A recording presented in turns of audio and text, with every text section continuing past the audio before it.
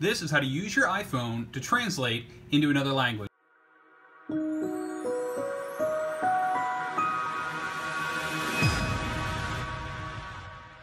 I'm Josh Smith with GottaBeMobile.com, and you can use Siri to translate English into French, German, Italian, Mandarin, or Spanish. All you need to do is ask Siri. So you can hold your home button, and once you do that, you can say, How do I say where's the bathroom in Spanish?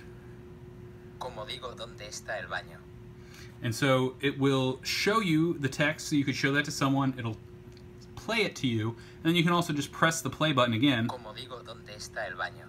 so that you could play that to someone when you need to communicate that you need something. You could also say, translate, I'd like a beer into German. Ich hätte gern ein Bier. So there's two main ways that you can do that kind of translation. Now, what you can't do is have that person speak to you. So if I try to say, how do you say, ¿Dónde está la biblioteca in English? I can't translate into English yet, but I can translate into French, German, Italian.